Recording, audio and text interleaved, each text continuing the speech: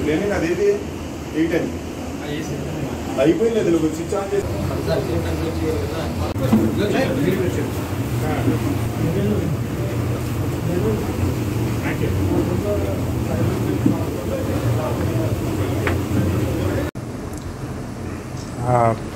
మా పశ్చిమ గోదావరి జిల్లాలో గత ఎనిమిది తొమ్మిది నెలలుగా చాలా దొంగతనాలు జరిగాయి.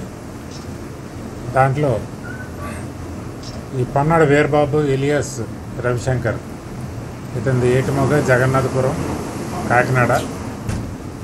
చాలా కాలం నుంచి ఇతను మాకు వాంటెడ్ ఎక్యూజ్డ్ మాకే కాదు మిగతా జిల్లాల్లో కూడా వాంటెడ్ ఎక్యూజ్డ్ అయితే ఇతన్ని మేము అరెస్ట్ చేసాం అరెస్ట్ చేసిన తర్వాత ఇతను ఇతను మా జిల్లాలో పదహారు కేసులు